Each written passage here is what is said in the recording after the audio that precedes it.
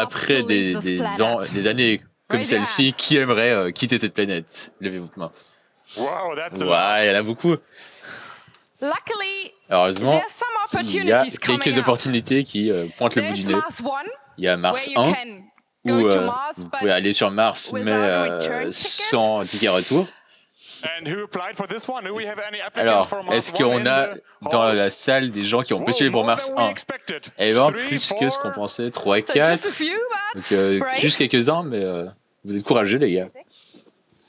But recently also SpaceX, récemment, uh, il y a aussi eu l'annonce de SpaceX on how to get qui a to Mars and their, uh, annoncé leur plan technique sur comment aller sur Mars. Qui a vu euh, l'annoncement? Levez les mains. Okay, Whoa. quite some people are Donc, euh, informed. pas mal de So gens. since we already know Ok. there's three or four people who would go On sait déjà qu'il y a deux trois personnes qui iraient euh, sur Mars sans euh, rentrer. Donc, euh, qui euh, confierait, mettrait sa vie entre les mains d'Elon Musk Levez les mains. Some more, some more. Donc, yeah, il y en a quand même quelques-uns see a de colony out On, there. on voit, on commence à avoir une colonie by euh, the way, what's the difference between the se Berlin former. airport and Donc, Mars? quelle est la différence entre l'aéroport de Berlin et Mars? Les- on Mars in the foreseeable future. Les humains vont atterrir euh, sur Mars dans le futur prévisible. The next Donc, talk is le not talk only suivant about n'est pas seulement sur Mars, about c'est the sur 3,518 les known 3518 exoplanets exoplanètes connues et euh, comment choisir la bonne pour attempt.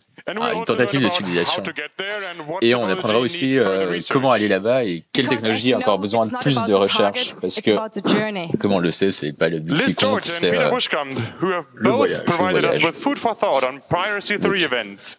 Uh, L'autre talker nous a déjà Are donné pas mal de matière à, réfléchir sur les talks sur les conférences précédentes. They are both instrument builders for C'est des- astrophysics.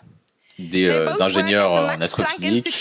Les deux, extraterrestrial tra- les deux physics, travaillent à l'Institut Mars both working in the Planck same infrared group. et les deux travaillent dans le même groupe euh, infrarouge. of the world's most sensitive infrared instruments. Et ils ont développé euh, quelques-uns des instruments les plus précieux au monde. Donc, s'il vous plaît, prenez-nous avec Peter. de, dans un voyage interplanétaire, Liz et Peter.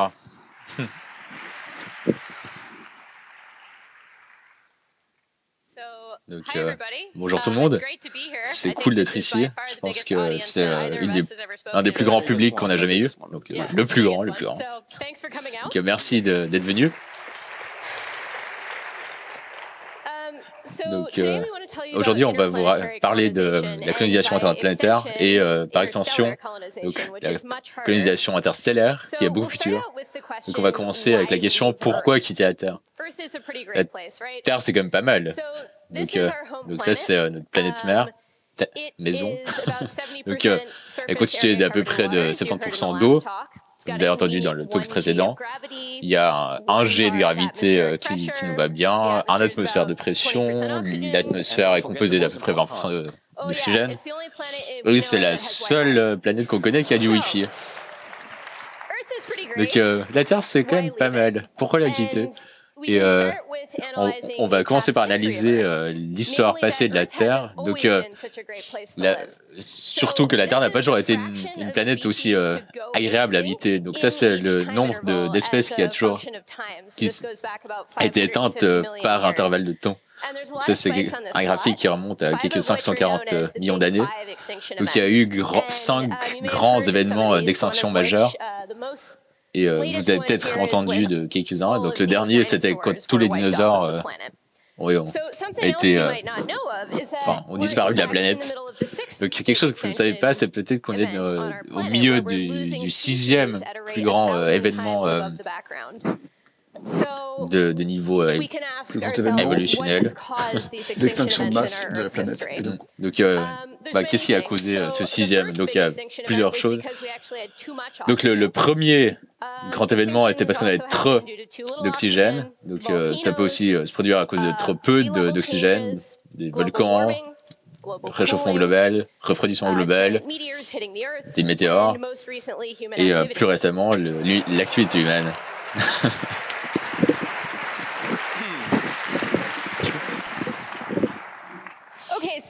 bien. Donc, on peut dire, on est beaucoup plus avancé que les dinosaures, on a la technologie, en principe, on devrait s'en sortir et survivre. On devrait réussir à survivre à tous ces événements majeurs qui pourraient euh, détruire la planète, qui pourraient nous arriver. Et en fait, à très long terme, on a un plus grand problème. Et ce problème, c'est notre Soleil. Donc, au bout du compte, le, le Soleil utilisera tout son, son hydrogène et se transformera en géant rouge. D'abord, toute l'eau euh, s'ébouillera et disparaîtra de la planète, ce sera agréable pour personne. Et en fin de compte, l'étoile deviendra tellement large qu'elle uh, qu'elle absorbera la planète et la grillera. Donc, étant donné que vous êtes en CCC, vous pouvez imaginer, vous pouvez imaginer ça, qu'on veut faire une sauvegarde à distance de la planète, de l'humanité, avant que, que la Dans le cloud et au-delà. Alors, dans ce cas, on a une bonne motivation de, de partir de la planète dans un avenir euh, envisageable. Donc ça nous amène à la question suivante. Où aller? Tous vous, tous, vous tous dans, la, dans, la, dans le public et nos, nos présentations, présentateurs précédents. ont parlé de Mars. Et donc on veut également savoir comment on découvre notre nouvelle planète. Alors voici à quoi ressemble Mars depuis l'espace, et on pourrait se dire c'est une bonne cible pour nous, c'est assez proche en termes de voyage interstellaire. Si vous voulez avoir une idée de la distance, et on, va attendre la dernière présentation de la soirée sur la taille vraiment énorme de l'univers. Alors, ça prendra à peu près deux ans pour y aller et revenir pour Mars. Mars a également une atmosphère, mais elle est très fine, principalement du CO2. Elle n'a pas de magnétosphère. Elle n'est pas protégée des, du rayon cosmique. Donc euh, ça stérilise la surface. Donc euh, il faudra vivre sous terre. C'est aussi très froid. Donc euh, bah, bien que Mars soit proche et techniquement la, la zone habitable de notre Soleil, qui pourrait vouloir dire qu'il pourrait y avoir de l'eau liquide sur la surface, c'est pas vraiment un endroit confortable pour vivre. Donc, une autre destination que les gens parlent, c'est euh, Europe, donc une des lunes de Jupiter. Et euh, c'est un, une destination très intéressante parce que c'est un, un, monde euh, océanique, donc toute la Lune est couverte de d'eau avec une couche de glace très épaisse. Et c'est une atmosphère d'oxygène quasiment pur. Donc euh, il y a de l'eau, il y a de l'oxygène. Vous dites cool, qu'est-ce qu'on peut, qu'est-ce qu'on peut voir de plus? bah, Malheureusement, la température de surface est tellement froide que la glace est aussi dure que du granit. Et il faudrait euh, forer à travers 15 km de glace avant d'atteindre la surface. C'est aussi dans, euh, situé dans les radiations de, de, Jupiter. Donc la radiation de surface est tellement forte que les humains mourraient en quelques heures. Donc pas tellement cool non plus. Et aussi, les monolithes nous disent de ne, de pas y atterrir. C'est vrai. Mais la, la, chose très intéressante, c'est que ces planètes sont proches et on, on connaît euh, beaucoup sur elles. La question, c'est comment on sait ces choses? Donc, euh, dans notre système solaire, on peut envoyer des, des satellites pour orbiter les planètes et euh, des, des, sondes terrestres qui, des fois, euh, s'écrasent, mais des fois se posent bien et nous donnent quelques informations. Donc ça, c'est euh, une image d'une montagne sur Mars qui a été prise par le rover Curiosity, qui est là sur la planète maintenant, qui prend des, qui nous renvoie des données. Donc ça, c'est un selfie de Curiosity. Et euh, une des choses vraiment cool de Curiosity, c'est que c'est un laser énorme dessus qu'il utilise pour euh, vaporiser des, des pierres et les analyser. Donc on a Curiosity qui est là, et ça c'est le premier spectrum, enfin le premier résultat d'un spectromètre de, de Curiosity, et on voit la composition des roches, il y a pas mal de, de, pics. Donc si vous avez des, chimistes à la maison, on pourra voir que ces, euh, ces pics peuvent être enfin correspondent à certains éléments qu'on a sur la Terre, donc aluminium, calcium, etc. Toutes des choses qui seraient très utiles pour des euh, habitants potentiels de Mars, ou juste c'est bien de savoir euh, quelle sorte de vie pourrait vivre sur Mars. Donc, donc Lise est en train de dire qu'en fait là on est, on est bien et qu'on pourrait faire pousser des patates sur cette planète. Donc euh, par exemple, oui. Ok. Donc, à nouveau, ça nous, enfin, ça nous ramène à notre problème précédent. Donc, le, le Soleil va finir par euh, envelopper la Terre et faire de, de Mars un, un, monde désertique. Donc, il faut qu'on aille un peu plus loin que Mars. Donc, ça, ça nous amène aux exoplanètes. Ça, c'est un graphique de détection d'exoplanètes par année depuis les années 80. Et on peut voir que 30, il y a 30 ans, on ne savait même pas qu'il y avait d'autres planètes dans l'univers autre que dans le système solaire. Et dans les, les dernières années, on a vraiment, vraiment appris euh, énormément sur euh, une quantité incroyable d'exoplanètes. Donc nos, nos technologies d'élection euh, sont améliorées, sont détectées de différentes façons. Mais aujourd'hui, je vais vous parler que de deux façons de détection. Donc euh, la, enfin, la vélocité radio et une autre méthode qu'on reviendra tout à l'heure. Donc la première chose que vous devez savoir, c'est qu'une planète n'orbite pas une étoile. Donc euh, en fait, l'étoile et la planète orbitent toutes deux le centre de la masse du système. Donc le gros truc c'est euh, l'étoile, le petit truc c'est la planète, et euh, il y a une oscillation aussi de l'étoile. Ce que ça veut dire, c'est si on, on observe l'étoile qui va, qui bouge, il y a euh, un effet Doppler. Donc euh, quand elle se rapproche, la lumière est un peu plus bleue, quand elle s'éloigne, la lumière un peu plus rouge. Donc ce qu'on voit, c'est que c'est un signal périodique.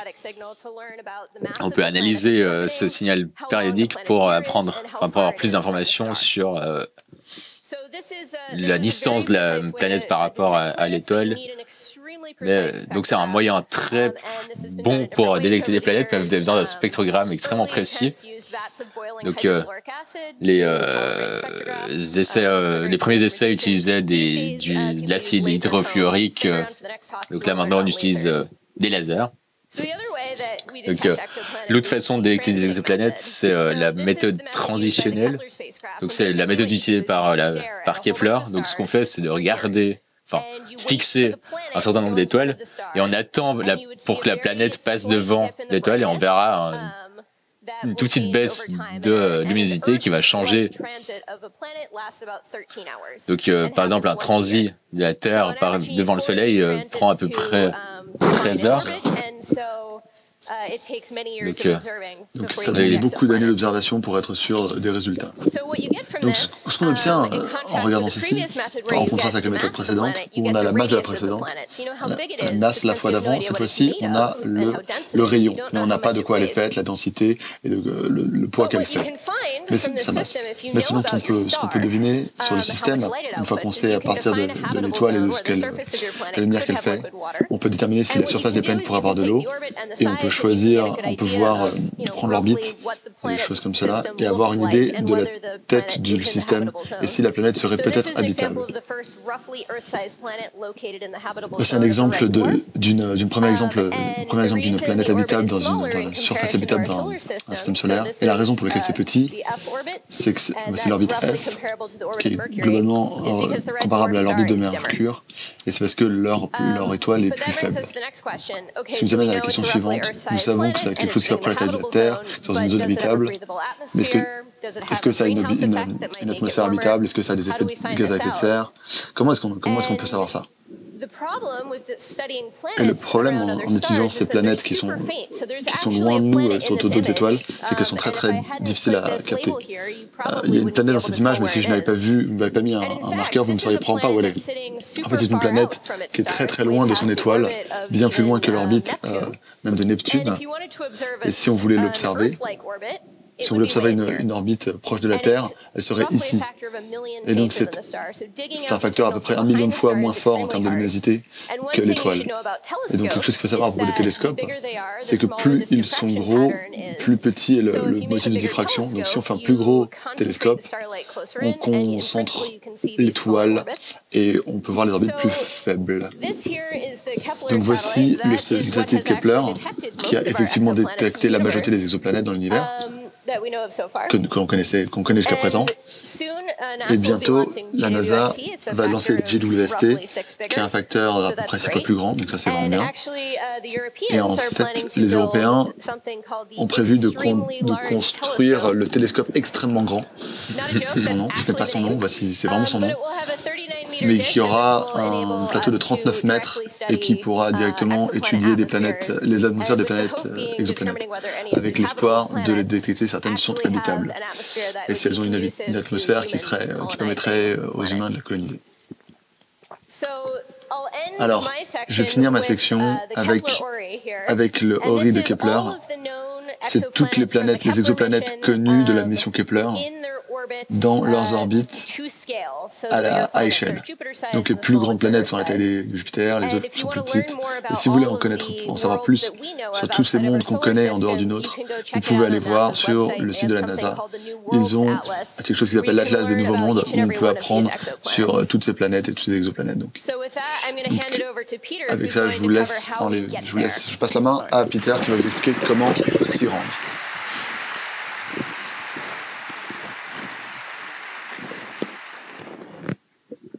Ok, donc comment on, va là-bas? Donc ça c'est euh, loin d'être simple. Est-ce que vous connaissez le, la première règle du, du Space Club? Est-ce que c'est ne pas Donc non, c'est euh, l'espace de Copperpath. Donc on a appris ça de Mark Whitney, qui veut dire que si on fait n'importe quoi avec l'espace, ben il faut vraiment savoir ce qu'on fait. Donc, euh, comme euh, règle générale, il faudrait traiter le, le, vide comme un gaz toxique. Donc, euh, à partir de là, après, on peut commencer à construire des choses. Il y a une deuxième règle de, du Space Club. Ne parlez pas du Space Club. Ne parlez pas du Space Club. Soyez préparés pour euh, à nouveau euh, citer Marc. Donc ça, c'est euh, quelques-uns des, des sujets sur lesquels vous voulez peut-être penser. Donc euh, déjà, est-ce qu'on devrait envoyer des, des robots? Donc, euh, Est-ce qu'on a besoin de bases planétaires euh, sur la route?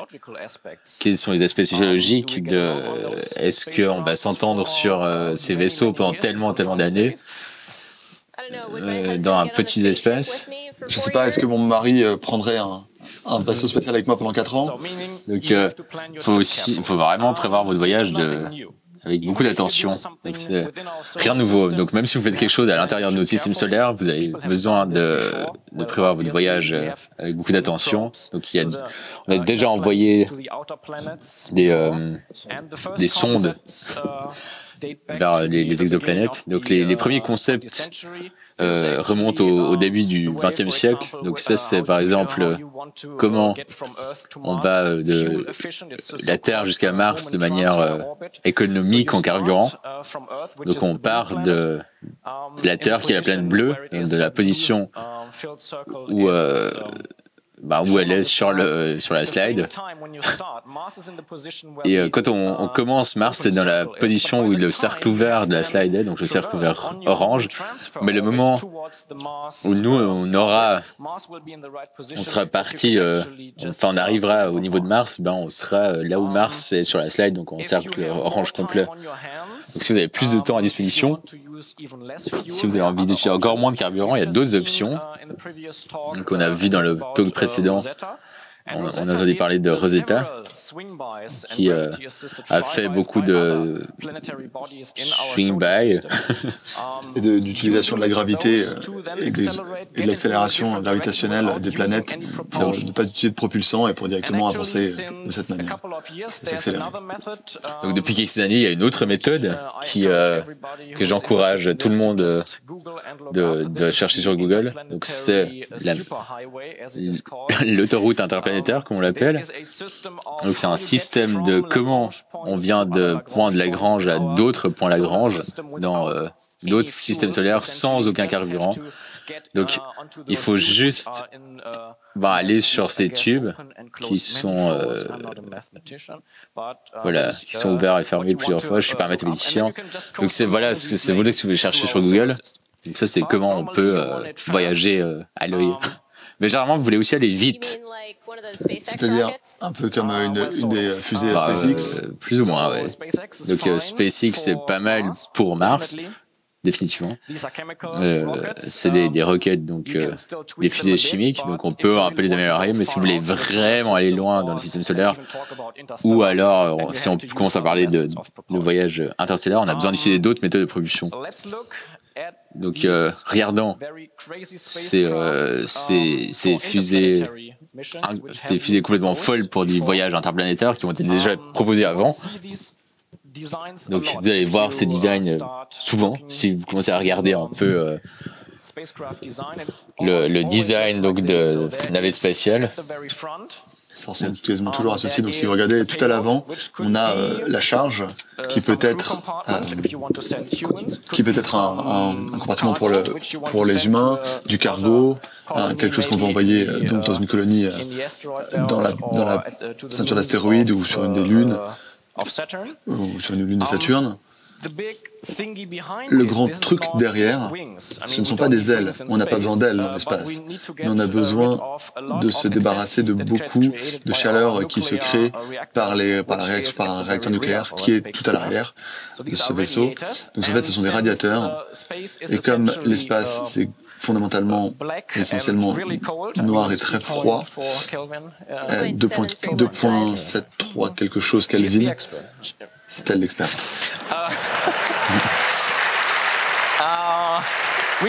On peut, de manière efficace, euh, envoyé par radiation tout ce qui est chaud en utilisant ces, radiateurs.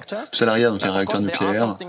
Il y a évidemment des choses comme les euh, moteurs à ions, mais je veux montrer d'abord les idées les plus folles. Alors ici à quoi le réacteur ressemble, c'est un réacteur à fission fragmentée. Alors on peut voir là, c'est ce qu'il y a à l'intérieur d'un moteur, d'un réacteur, pardon. Et il y a des choses nucléaires au milieu, montrées en verte. il y a évidemment un modérateur qui est autour pour, euh, pour euh, mettre les neutrons à la bonne vitesse.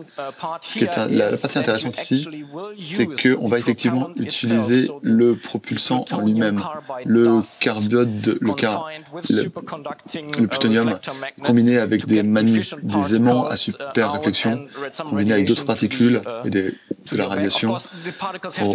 Bah, évidemment, il faut que les particules soient chargées par des...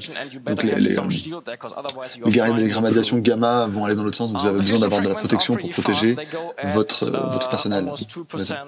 Ça va assez vite, ça fait à peu près 2% de la vitesse de la lumière, et on a également beaucoup, beaucoup d'énergie qui en ressort pour, pour propulser les, générateurs thermoélectriques, pour avoir de la, avec cette, cette chaleur supplémentaire, pour avoir de l'électricité, etc.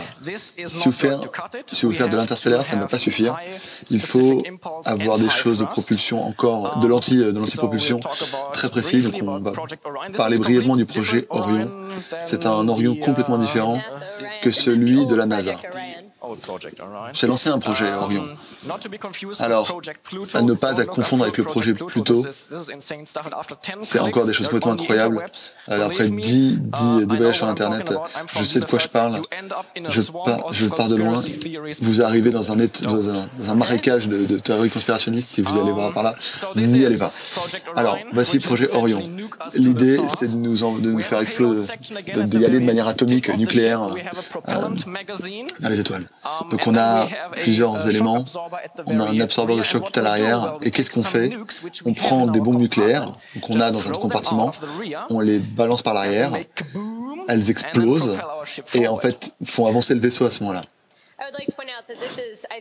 J'aimerais faire remarquer que c'est l'utilisation le plus raisonnable a priori des bombes nucléaires.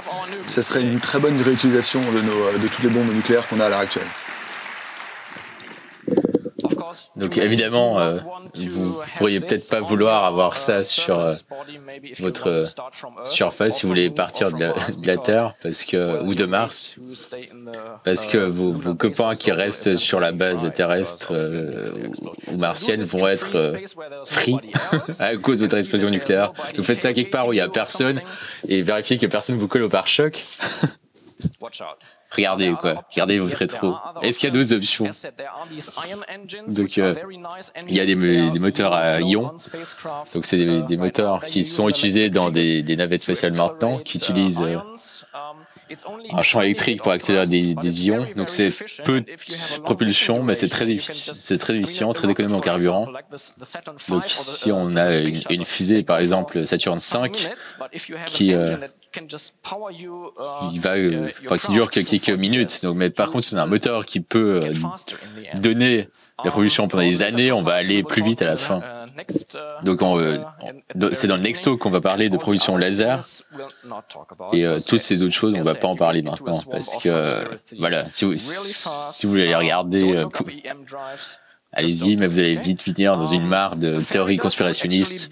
Donc le, la, la poussière euh, de fait, euh, c'est quelque chose qui, c'est des moteurs qui donnent euh, de l'accélération constante, mais on n'a aucune idée euh, quelle technologie utiliser pour euh, les, les moteurs à accélération constante.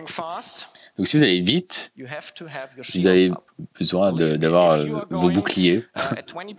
Donc si vous allez à 20% de la, de la vitesse de la lumière, ou quelque chose euh, dans ce domaine-là, vous devez vous assurer que l'espace n'est pas complètement vide. Donc ça veut dire qu'il y a pas mal de, de trucs entre les étoiles. Donc c'est euh, des, ça peut être des molécules, euh, des atomes, des atomes chargés, la poussière. Donc si vous faites une- un petit calcul, si vous allez à, à 0,2 C, vous allez euh,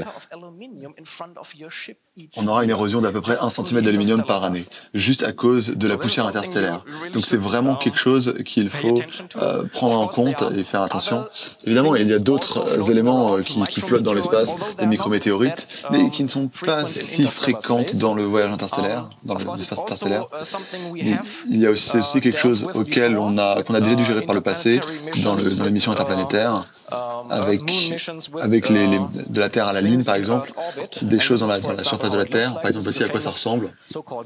Voici à quoi ressemble, par exemple, un des, un, un des boucliers. Donc à gauche, on a, euh, on a un morceau de métal devant qui absorbe le premier impact, et ensuite en dessous, on a une, euh, une poussière de débris euh, sur le, sur le vaisseau en lui-même qui est derrière, où on peut voir des choses comme des, comme des, comme des formes de métal, sur des choses-là. Il y, a, il y a effectivement la recherche qui est faite à ce niveau-là, et, qu'on- et on se prépare pas mal à ce sujet-là. Mais bien sûr, on veut avoir des choses vraiment bien pour faire ça. Et ensuite, Oui, ensuite c'est euh, BYOM, bring, amenez votre homme, votre propre euh, Magnétosphère. force, rayon de force. Euh, Et donc si vous pouvez mettre un, un champ de force ou de, si on peut mettre un champ magnétique autour de votre vaisseau, vous pourriez mettre du plasma autour du, du vaisseau et en ayant un bon, on pourrait donc avoir un, un champ magnétique autour du vaisseau qui, re- qui renvoierait les choses qui arrivent.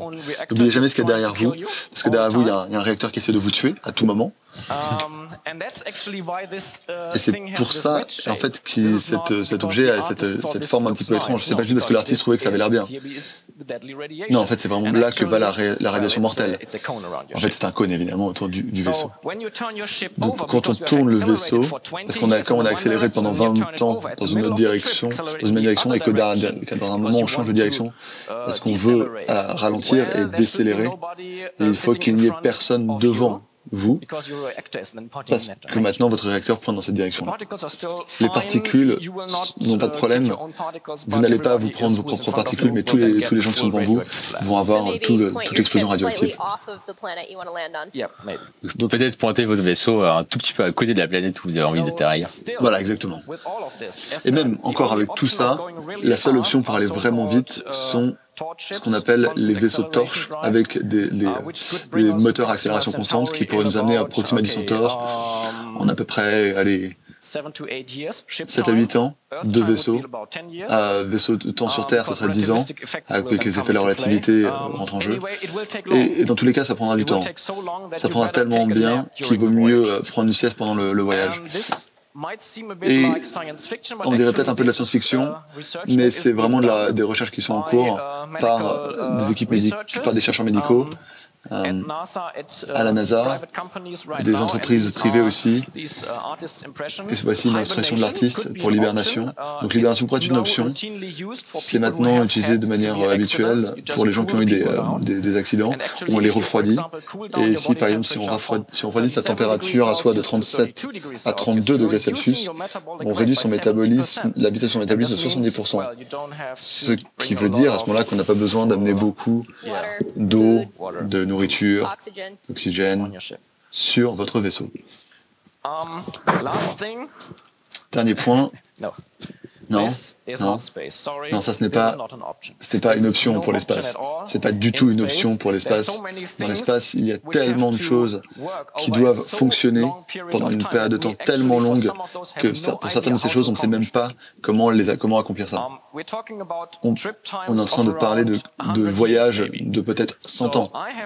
Donc, je n'ai pas vu un ordinateur qui a marché de manière continue pendant 100 ans, ni un système de propulsion, de système électronique. Donc, si vous avez un vaisseau de ce type, vous avez besoin d'avoir toutes les pièces de remplacement, ou vous avez même besoin d'avoir deux vaisseaux, ou des capacités sur le vaisseau pour, pour, le, pour faire ça. Par exemple, miner des astéroïdes pour avoir des nouveaux morceaux pour vos, vos boucliers qui se sont érodés avec le temps. Oui, peut-être quelque chose comme ça. Donc ce n'est pas vous faire peur, ce sont juste les défis qu'on a. On a fait d'autres choses. L'humanité a déjà fait des choses comme mettre des gens sur la Lune. Bientôt il y aura la Lune et il y aura Mars. Mais gardez à l'esprit que cette, cette station très célèbre par le père de, des fusées, Tchaïkovski, qui disait La Terre est le berceau de l'humanité, mais personne ne vit dans son berceau pour toujours. Donc, à un moment, on va arriver à, sortir et y aller. Et la question, c'est quand Mais il y a beaucoup de choses à faire. Et vous êtes tous les, toutes les bienvenus à nous rejoindre et à, prendre, à y prendre part. Merci.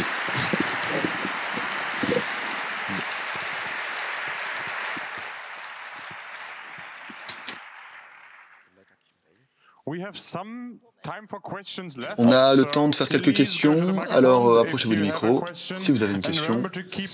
et essayez de les garder les plus courts possibles. Angel du signal, merci d'avoir les questions. Il y a une question de l'Internet? Si vous partez du principe que les, euh, les moteurs euh, électromagnétiques fonctionneraient et qu'on aura une propulsion raisonnable, comment on pourrait changer euh, le voyage interstellaire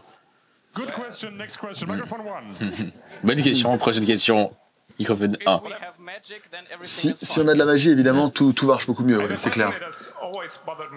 J'ai une question qui m'a toujours gêné avec le voyage dans l'espace. C'est quoi la, raison d'aller euh, quelque chose, d'aller vers quelque chose de très loin? Alors, dans quelque chose qui est maintenant euh, vraiment une zone désertique. Et, alors, au lieu de plutôt vraiment euh, genre se, se, sortir les doigts euh, en tant qu'espèce et pour et pour euh, et pour pour améliorer quelque chose, enfin remettre quelque chose de bien qui a été prévu pour nous par la nature. Pourquoi est-ce qu'on irait survivre sur euh, un endroit désertique et abîmé si on n'arrive pas à le faire ici? Vous vous souvenez que plus tôt il y avait le problème que notre Soleil allait à la fin, à un certain moment. Oui, d'accord, mais alors ça c'est dans vraiment. Consommer la Terre. Donc, je n'encourage pas qu'on on sorte pas les doigts en tant qu'espèce pour survivre sur notre propre planète, mais sur le très très long terme, l'exploration spatiale humaine est, est, une nécessité. Il faut qu'on garde toujours les yeux rivés aussi sur le futur lointain de notre espèce, de manière générale.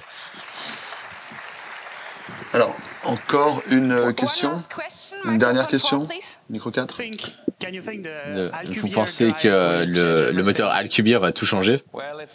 Euh, C'est un beau concept mathématique, mais, mais les choses dont on a besoin pour le rendre réel, pour faire une réalité, ne c'est même pas certain que ce soit exact dans la réalité physique. Si on a un, un, un moteur warp, mais c'est, c'est, ça se passera bien, mais désolé, pour l'instant, ça ne va pas se passer dans le courant de notre vie, ça je peux vous le promettre. Alors si on arrivait à... Alors si vous arrivez à construire un warp drive avant la fin du congrès, on vous emmène avec nous. Dernier truc, c'est qu'on a les différentes personnes qui vont parler de l'espace ce soir vont se retrouver à la, à la salle G sur le, euh, sur le sofa pour, pour, pour, discuter. Donc si jamais vous voulez tous nous rejoindre après minuit, c'est là qu'on sera tous, tous les, toutes les personnes qui auront participé à toute les présentations sur l'espace. Voilà.